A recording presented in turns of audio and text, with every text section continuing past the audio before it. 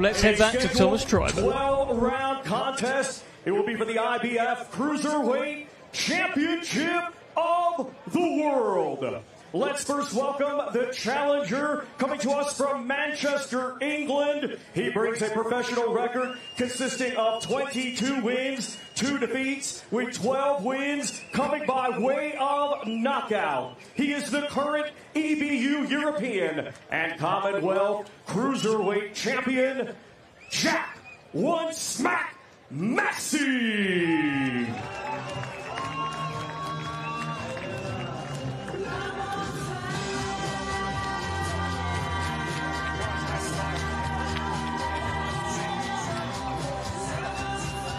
And now let's welcome the defending world champion from Gold Coast, Australia. A 2012 Olympian, now undefeated as a professional with 25 wins, 19 of his 25 wins coming by way of knockout. He is the current Ring Magazine champion, and tomorrow night, the reigning and defending IBF Cruiserweight Champion of the World, Jai Opetaia!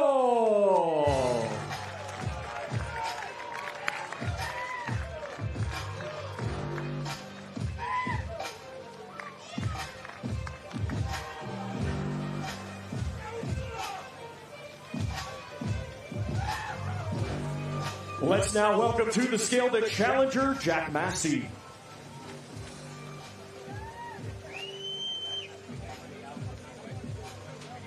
One ninety nine point twelve for the challenger, Jack One Smack Massey.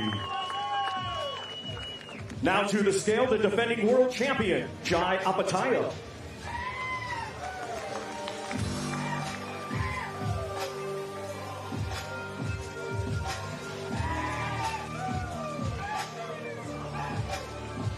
One ninety eight point nine for the defending world champion, Jai Opetaia.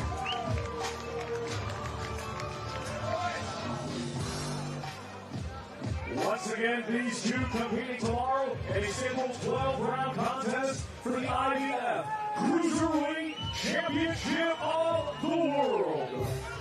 Look at the intensity in the eyes of Jai Opetaia, but look at Jack Massey staring right back at him. I've loved the build up to this one, Andy. It's been terrific. It really has. I love where Massey is. I think he's in a really good place. It's a tough task, we know that, but it reminds me of a line at the end of any given Sunday. Al Pacino's character, talking about life on that edge, says, on any given Sunday, you're either going to win or you're going to lose. The point is, are you going to win or lose like a man? Are you going to look yourself in the mirror and know, win, lose, or draw? You did everything you could have done. And that's where Massey is. Will it be enough? We will find out on Saturday night, but it's got great ingredients.